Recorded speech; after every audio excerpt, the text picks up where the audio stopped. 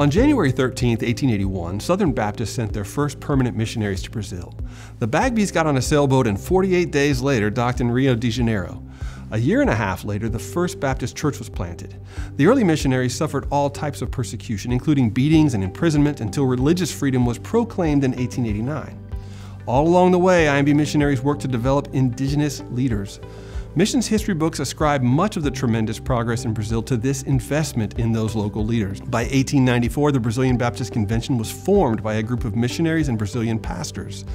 The pioneer missionaries blazed the trail, but it was the entrusting and equipping of Brazilians in kingdom tasks that caused the gospel to spread like wildfire.